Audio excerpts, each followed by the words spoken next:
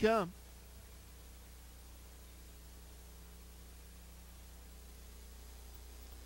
They're off fan pacing. Almahurst Elegant is first away. Primrose Parkway down on the inside.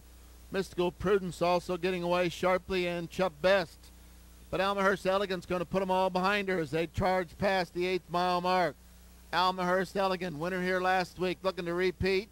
Right there in second, it's Primrose Parkway as they drive to the quarter.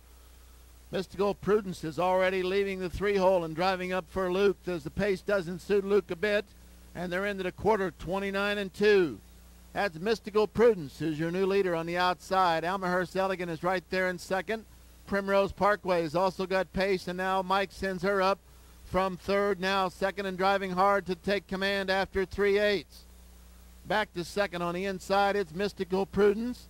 Almahurst Elegant racing in third. Then a gap to Chubb Best, who's fourth.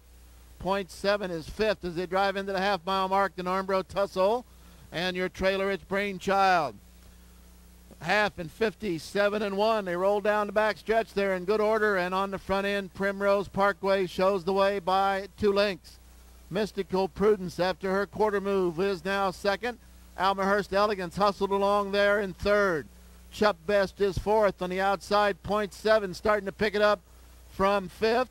Also gaining ground at the inside, it's Armbro Tussle. They're into the three quarter mile mark though there, and Mike is on the front end, Primrose Parkway.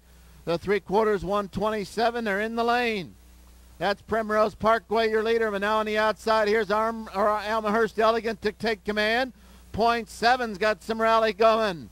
On the outside now, Almahurst Elegant, point seven, and from far back, here comes Brainchild with a rush. That's Brainchild on the outside, getting up. Almahurst Elegant in between horses. It's point seven. Almahurst Elegant might have hung on. That'll be a photo all the way. 156 and 4.